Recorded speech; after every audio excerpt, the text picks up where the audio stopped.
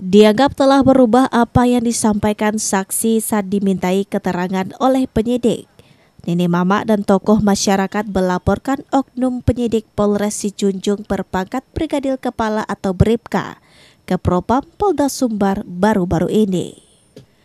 Keluarga pelapor Syafrul Katib menyampaikan, ia melaporkan kasus tersebut ke Propam Polda Sumbar karena terlihat jelas adanya itikat tidak baik untuk memenjarakan anak keponakannya yang bernama Evan Rizal yang dituduh dengan pasal 192 padahal Evan Rizal merupakan korban malahan ditetapkan oleh polisi menjadi tersangka. Menurut Syafrul, jalan yang menjadi pemicu dilaporkan Evan Rizal oleh pengusaha tambang emas yang diduga ilegal bernama Purnama merupakan jalan yang dibangun oleh salah satu perusahaan yang tidak beroperasi lagi dan tidak termasuk kategori jalan umum. Sedangkan saat sidang jaksa yang menerima limpahan BAP dari penyidik Polres Sijunjung, tertuliskan jalan tersebut termasuk jalan umum. Selain itu juga adanya dugaan dirubahnya BAP oleh penyidik Polres Sijunjung dan ditemukan juga tanda tangan para saksi yang diduga dipalsukan.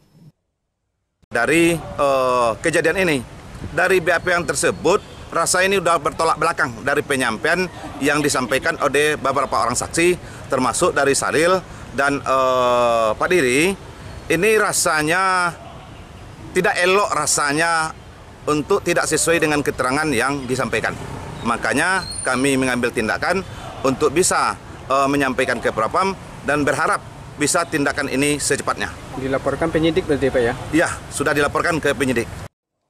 Sementara itu, penasihat hukum Nini Mama Masyarakat Jorong Koto Tangga menyebutkan saat ini baru satu orang yang dilaporkan ke Propam Polda Sumbar.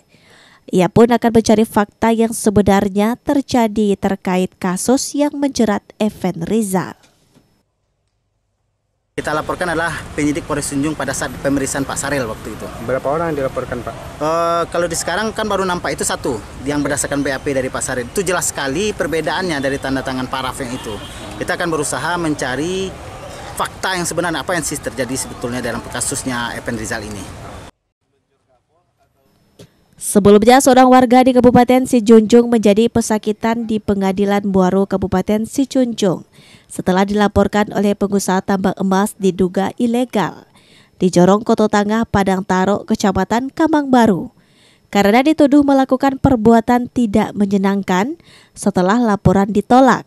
Pelapor atas nama Purnama kembali membuat laporan baru dengan tuduhan pasal 192 tentang merintangi jalan umum. Kemudian terlapor atas nama Evan Rizal yang sehari-hari berprofesi sebagai petani sawit ditetapkan menjadi tersangka dan saat ini sedang mengikuti proses persidangan. Syawaludin, Padang TV.